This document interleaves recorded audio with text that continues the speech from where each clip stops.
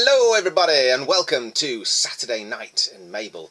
Uh, today is the 1st of October, and um, I've got to say that earlier today was brilliant. I really, really enjoyed the launch of Walt Pilcher's Killing O'Carolan. He's a very funny guy and knows how to put together a quality video as well. So, uh, thanks very much for that, Walt. I very much appreciated it, um, and I hope that your your books are selling like mad as we speak. And now we reach Saturday evening. Now, Saturday evening, it's not all about pushing books all the time, although our business kind of is, but it's also about giving back to you. And for the last two or three years, as you know, we haven't been able to run Fantasticon, and so we have an extremely special treat for you. Um, Mac and the Medic, the comedy duo that have joined us for the last three Fantasticons, um, uh, have decided to put together a little something for you guys. It's not too long, it's not a whole night's worth of entertainment or anything, but they have made it just for you, just for you MABLE crew. So thank you very much indeed to Penny MacDonald and Richard Bircher. Uh, Richard Bircher is a real medic. He's the and the medic part of Mac and the medic, and of course Penny MacDonald is the other. Um, I know they don't really need an introduction, but they're getting one anyway. So sorry about this, Penny, Richard. I apologise, but you are both legends. Um, Fantasticon attendees will know and love them, and those who've not yet had the chance to see them perform, this is your lucky day, or indeed a lucky evening. Even if you're not a Fantasticon attendee, you'll recognise Mac's voice. Actor Penelope MacDonald pops up on stage and screen, radio voiceovers all over the creative arts. Um, it's Penny who's been introducing each of the MABLE books as we've launched or spotlighted them throughout the event, and will continue to um, uh, until until the end of October. Be sure to join us on October the 16th. We'll be showcasing all our Doctor Who books and many others, and Penny's going to be giving us a reading from one of them as well. So um, Penny's readings are a thing to behold. They really are. I've been privileged enough to see her reading stuff live in the in the sound studio, and wow, she's an absolute machine. It's it, amazing. There's a good chance you've seen Penny Mac if you're a theatre goer. Um, she's done everything on the stage, from panto to Shakespeare, musicals to modern plays. Um, she's also a winner of the Stage Edinburgh Acting Excellence Awards at the Edinburgh Festival. Um, that, that's not to be sniffed at. That's a, that's a very prestigious award. Um, Penny and Richard Bircher, who's a real medic, as I, as I mentioned, uh, teamed up as Mac and the Medic and have taken their acts all around the country. Um, you should all immediately go and follow them on Twitter. Uh, the Twitter handle is at Mac and the Medic, M A C and the Medic, M E D I C, Mac and the Medic, and check out their YouTube channel as well. There's lots of links to the YouTube channel from their from their Twitter, but go and follow them on Twitter because that's where they that's where they get um, uh, all of their acting jobs and things from and through through that and through their YouTube stuff. So please go and support them, like them, share them, throw them around. You know the score by now, guys. This is a huge promotional event, so please help help us out by promoting everyone who's involved in this and not just the authors. Um, they not only wrote and performed their own songs for Fantasticon, and I mean wrote and performed from scratch their own songs from Fantasticon, they've done some more for MABLE. How lucky are you? I can't thank you guys enough. Thank you very much indeed, Penny. Thank you very much indeed, Richard. And uh, for all of you watching at the moment, enjoy tonight's performance from Mac and the Medic.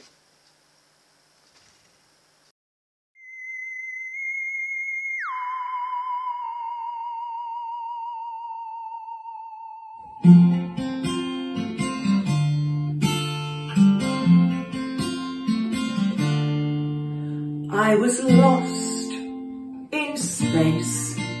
My companion raised an eyebrow, didn't crack his face. And I thought, oh blimey, why now? All my shields were down and my thrusters dead, but Fascinating. is all he said. I was lost in space with Spock.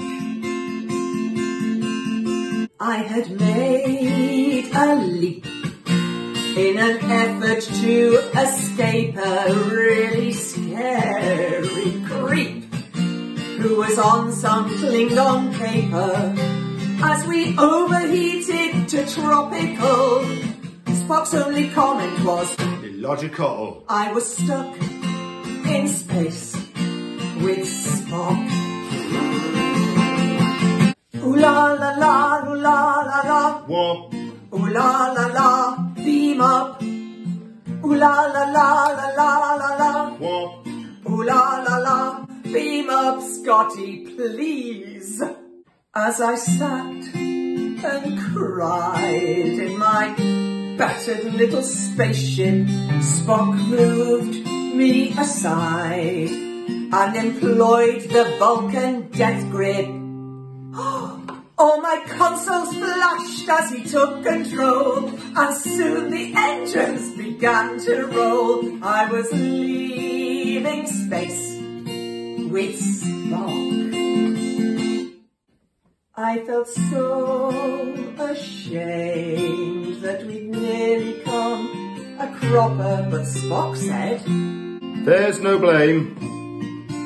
Now you're safe, live long and prosper. and I swear he winked in that dry Spock way. He's been my hero right from that day I was saved from space by Spock. Ooh la la la la la la la. Ooh la la la, beam up. Ooh la la la la la la la. Ooh la la, cancel Scotty, we're home.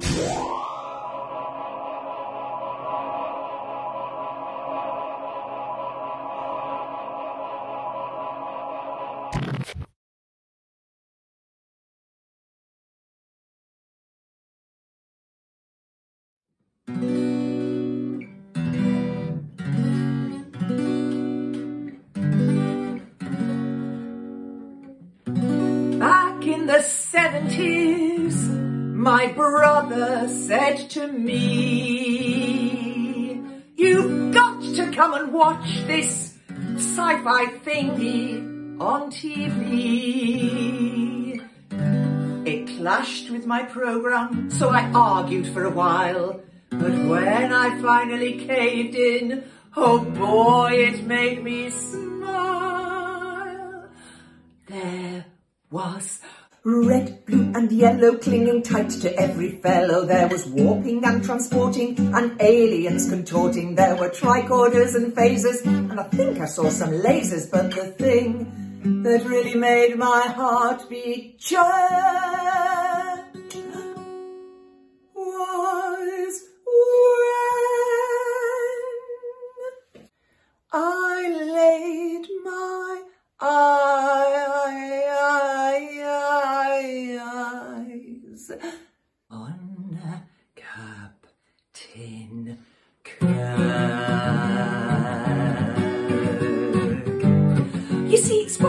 Is cool and classy, and Uhura's a smart lassie. McCoy can be quite surly, Yeoman Rand is simply girly. Scott is wise and skillful, while Sulu can be willful. Nurse Chapel's always yearning, Chekov's Russian blood keeps burning. And then there's the expendables, the red-coated unmendables. But who's the one who leads them night and day? The one who's always foremost in the fray.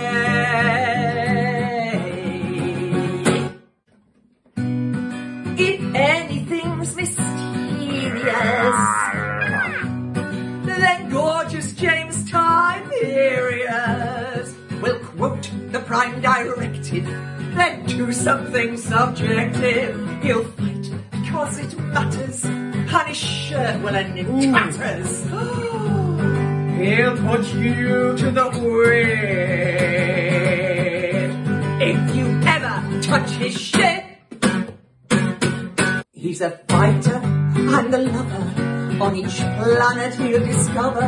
I really love it when he goes berserk.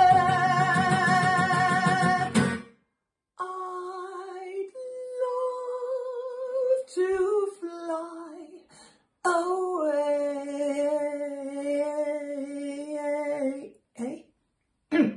away with Captain Kirk.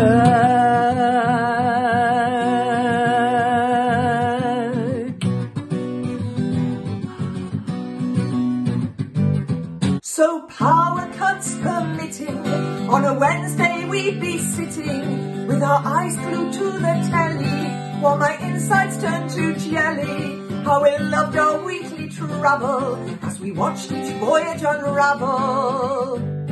We enjoyed each alien quirk. But although I lived the drama and each planet's panorama, every twist and turn of story, and the culminating glory, all the well thought out solutions and the dreadful retributions, all the fights, the rows, the kisses, and the frightening near misses. For me, the star in Star Trek is James T. If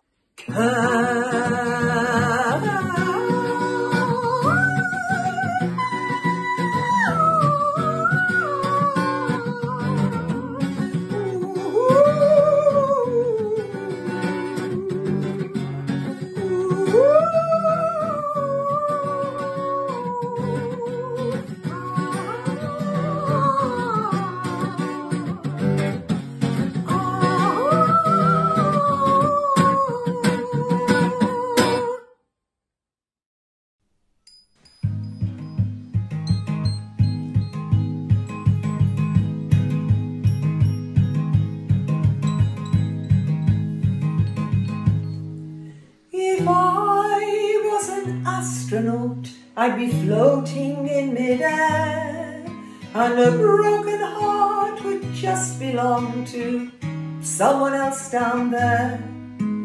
I would be the center of my lonely universe, but I'm only human, and I'm crashing down to earth. If I was an astronaut, I'd have a bird's eye view.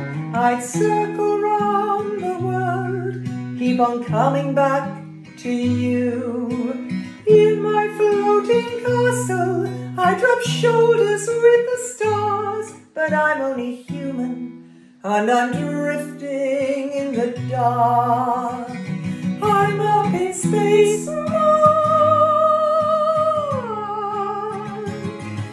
in space. I've searched around the universe, been down some black holes. There's nothing but space, man. And I wanna go home. If I was an astronaut, I'd speak to satellites. My navigation systems would search for other life. But I'd be up here thinking about what I left behind. Cause I'm only human with the real world on my mind. I'm up in space.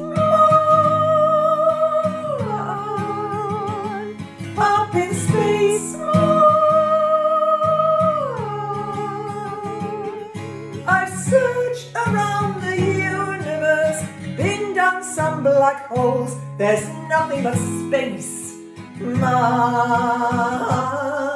And I wanna go home. Gravity keeps pulling me down.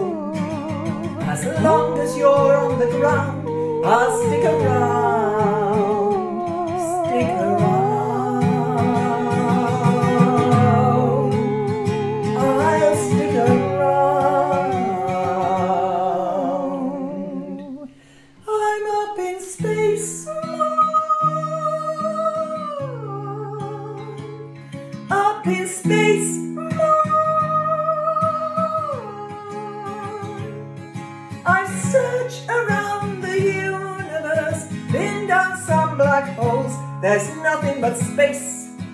Man.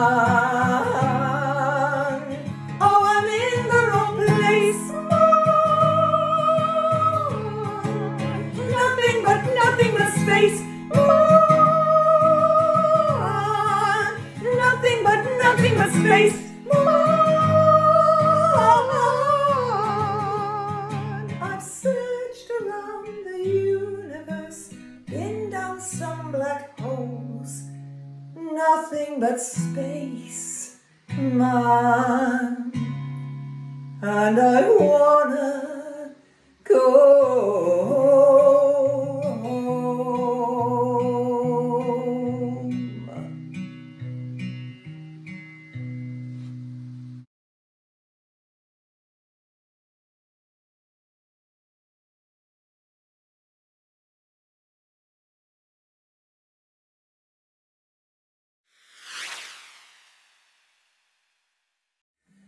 I really want to be elite, to be the admiral of the fleet.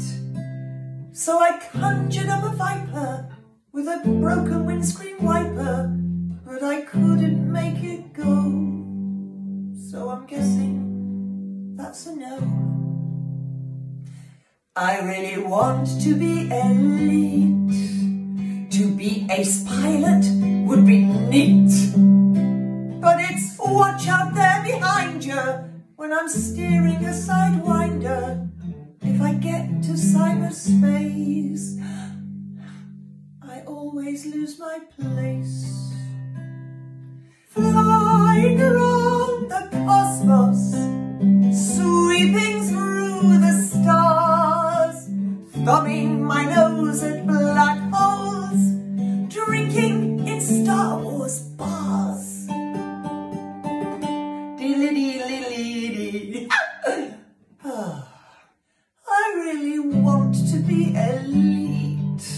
in flying suit from head to feet. But I'll never reach those stars. I get sick on bumper cars. So I guess it's plain to see that elite I'll never be. Never see a supernova from the cockpit of a Cobra. Never battle in a python, cause you're just not that right on. Never take an anaconda for a deep space super wonder. And cause you're such a loser, you won't serve time on a cruiser. Never even board an asp. Even that's beyond my grasp. I'm not imperial or fed. So switch it off and go to bed.